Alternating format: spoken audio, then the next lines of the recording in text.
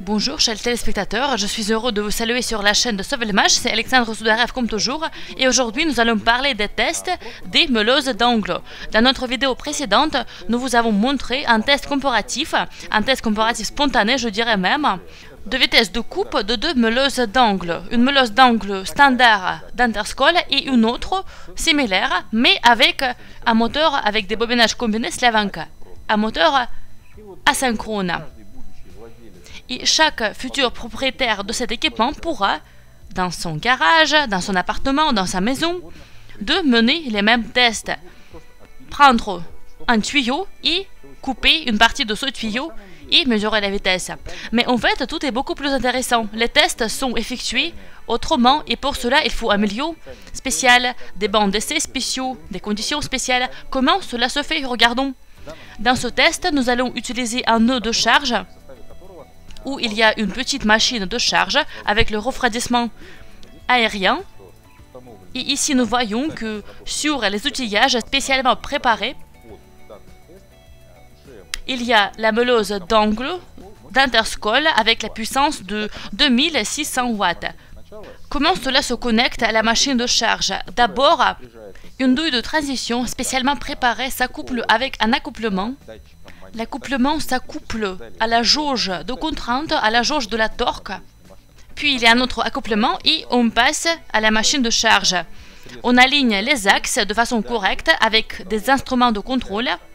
Et puis, cette machine s'allume et l'information est transférée au banc d'essai qui se situe dans la salle adjacente.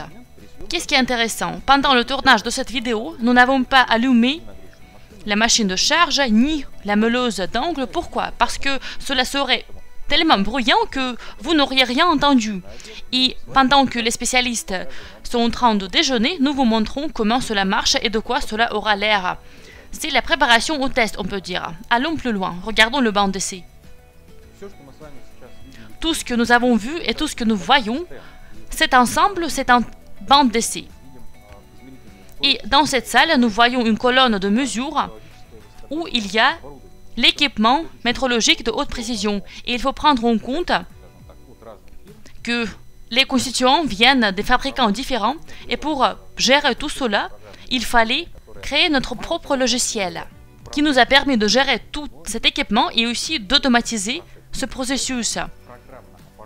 Le système matériel logiciel, qui comprend la colonne de mesure et l'ordinateur avec le logiciel, nous donne la possibilité de faire des tests de façon rapide et précise, de tester les objets et avoir tous les paramètres nécessaires.